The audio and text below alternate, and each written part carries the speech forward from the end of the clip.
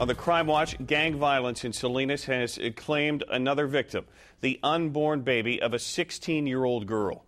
The girl was shot over the weekend. Today, police confirmed she was pregnant. Action News reporter Felix Cortez has that story. He's live outside Salinas PD. Felix? And Dan, today we learned that 16-year-old was at a baptismal party when shots rang out Saturday night.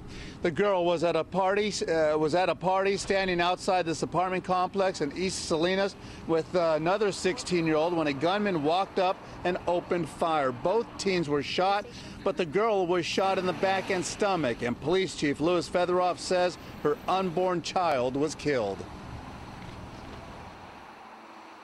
I'm saddened that they're going to a completely different level, man. Because I mean, it just it, it just tears it apart when they start shooting women, and they start shooting babies, and they start shooting you know young kids, and, and they really don't care.